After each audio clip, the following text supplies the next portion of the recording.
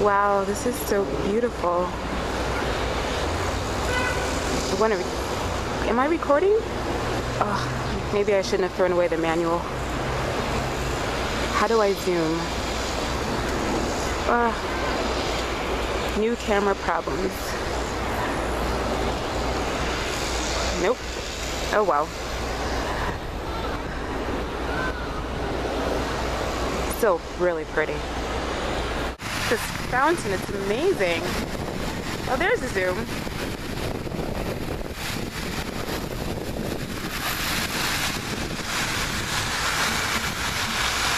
Oh, this is so pretty. Ah, getting wet. This garden is so beautiful. I've always said to come here, but I've. Let me see what.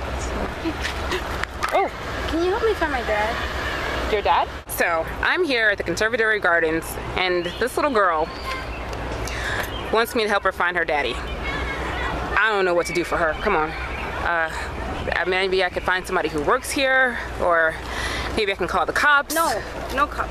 My daddy won't like that. Okay, well, is your daddy in trouble or something, or? Um, I don't think so, but you might be in trouble if you don't help me find my daddy. well, I don't want to be in trouble. Okay, let's uh, let's see what we can do. No, no, no, wait. You come here.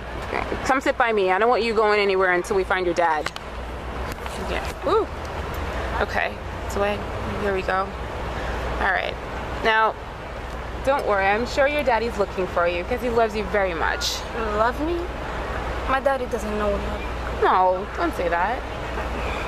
I want my dad. He's supposed to take me to a really cool place where a lot of people died. What? Who, the heck is your dad?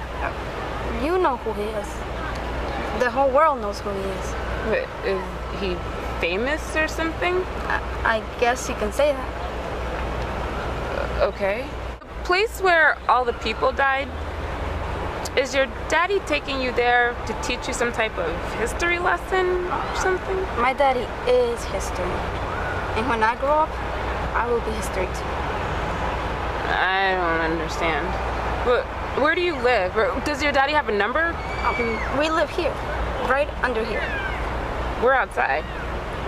Girl, you're not making any sense. If you don't help me find my daddy soon, you're going to be living with us.